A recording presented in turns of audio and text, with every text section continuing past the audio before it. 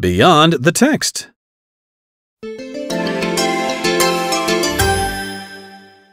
The Life of King Tut. Listen carefully to the passage about Tutankhamun and choose the correct answer to each question.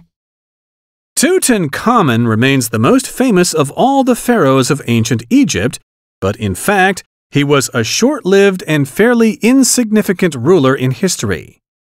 We know very little about his life because although his tomb was filled with many great royal treasures, it held very few written documents. Therefore, the tomb told us little about the king himself. One of the few things that are certain is that Tutankhamun was originally called Tutankhaten. After he came to the throne at the age of nine and married his half sister, the king changed his name to honor the god Amen. It is also believed that King Tut once ruled Thebes, that he undertook a program of temple building, and that he was about 18 years old when he died. We do not, however, know how he died. Some people suspect that he was murdered, but that has not ever been proved.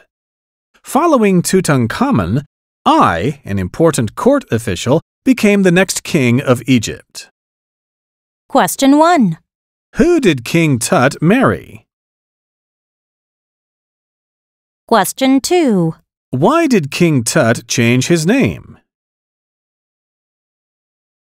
Question 3. What did King Tut try to build when he was alive? Question 4. Which of the following statements is not true?